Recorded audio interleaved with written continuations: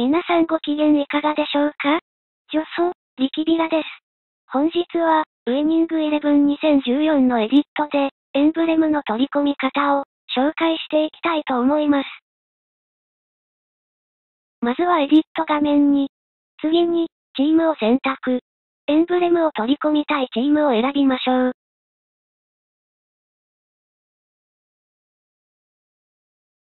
チームを選んだら、エンブレム、画像取り込みと進み、あらかじめプレステ3本体のフォト内に、保存しておいた画像を呼び出します。あとは、画面の指示通りに従い、作業を進めていけば、OK です。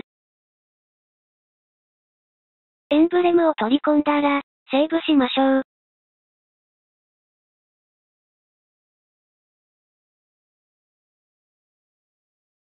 ご覧、いただけたでしょうか？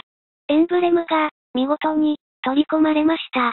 取り込んだエンブレムが、素早く表示されないのは、しようと思われるため、その点は、我慢しましょう。ご視聴、ありがとうございました。